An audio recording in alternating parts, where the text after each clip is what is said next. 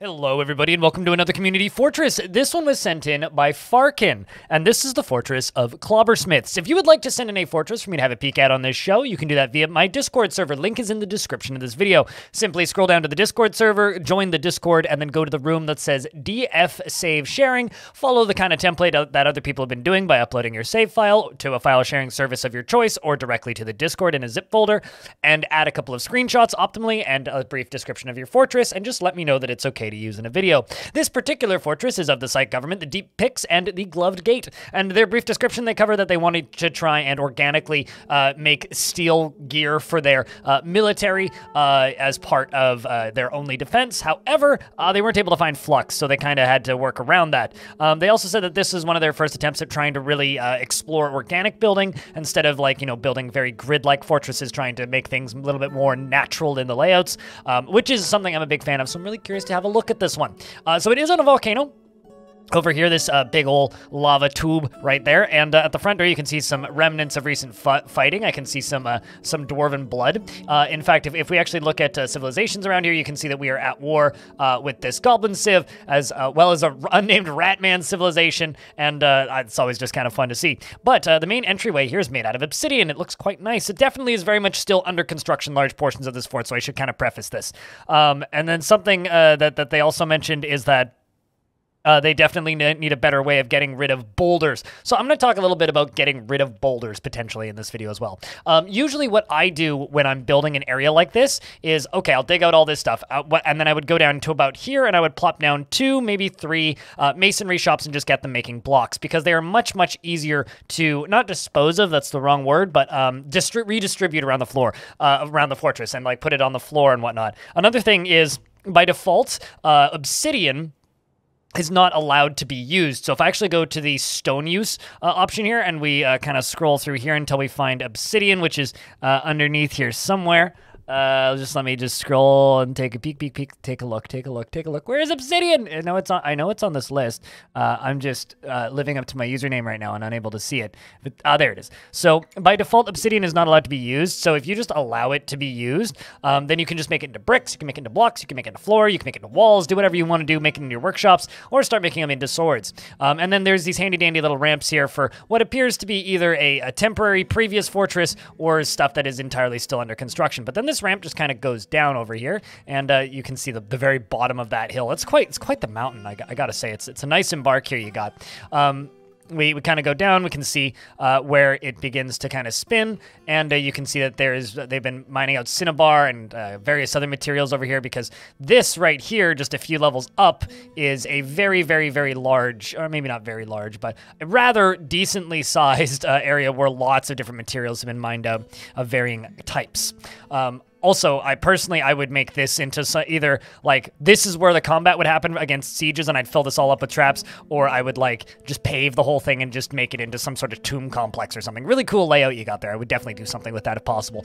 As we scroll down, there's there's more spaces like this as well as uh, this minecart route which I'm not sure if it if they're just doubling it up or if it's already functioning, but uh, essentially it just runs stones down to the fortress itself all the way down here. Uh, but we we are going to um, follow this back.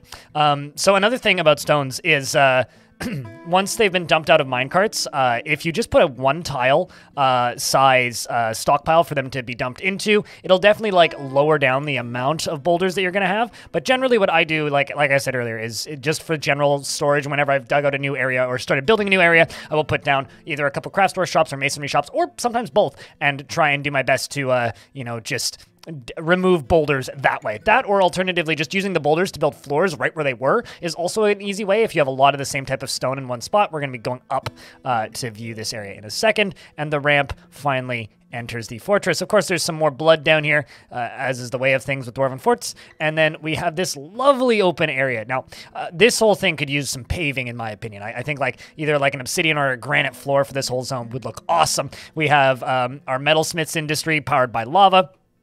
Coming from uh, the the volcano, which uh, came in from this spot right here. Like this is one neat ass setup. Actually, I, I really like kind of the um, the the flow in here for the lava combined with like this almost lava aqueduct. Like this is a really neat effect. Um, once again, like all, all, it really needs is just like pave these floors, put down bricks and pave these floors. Do do some neat patterns, engrave those paved floors, knock out the bottom pieces of the pillars, and put in cooler materials there, and like show off your fortress's wealth a little bit. Like down here, you've got um, these two like you know infinite stockpiles, right? But then you're redistributing it into other stockpiles. It's like you've got the, this bar block bin, but it's not even half full. There's tons of boulders here that can be redistributed into other places in the fortress. Same goes for like stairs. Like if you look at the edges of the stairs, right?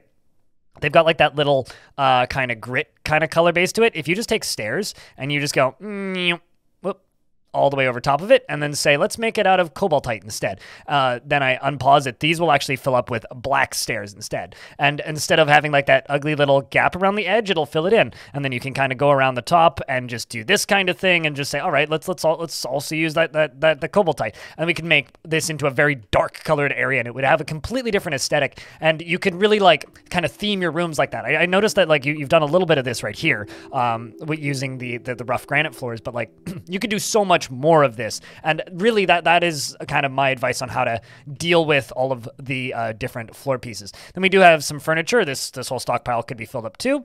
Um, and then if I hit Z, we can see that we whoops we, we do have uh, some some offices and uh, a, a, bigger office for um, a captain of the guard as well as their prison set up over here trading right there, and uh, a barracks assigned to some guards, and then a really, really nice big hospital. Once again, all of these floors can be paved, would deal with a lot of these boulders really easily, um, and then some very large spaces for the very important dwarf Silvertongue the King.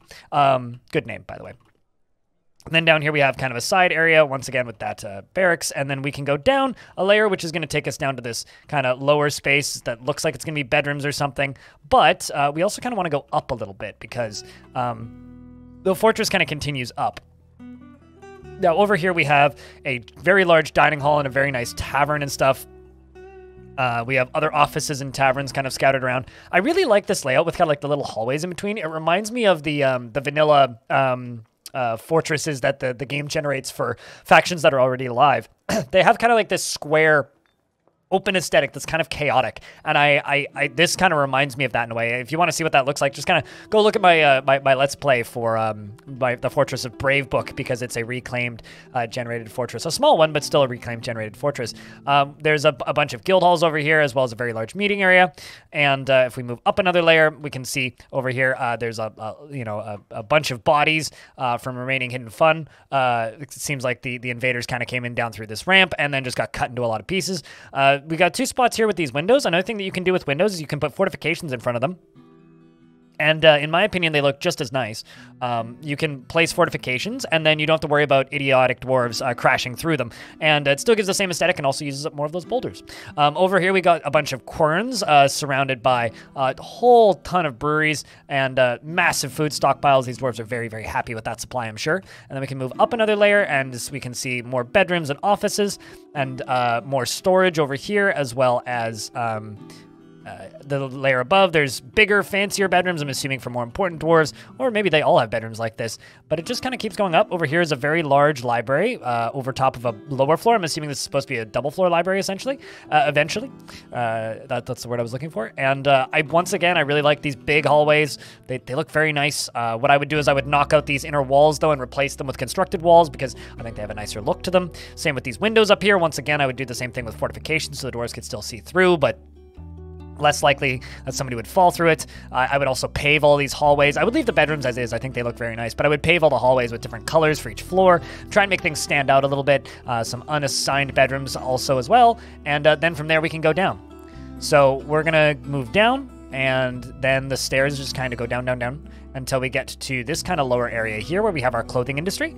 Um, we have uh, a, a, whole bunch of farmers' workshops over here. I'm assuming making plant cloth. Yep, processing plants. And then we got looms that are then moving stuff over to there. And uh, down here we have uh, wood furnace industry and ashery industry. Uh, layer above, there's unfinished space, which again could all be paved. Um, and then more clothing industry.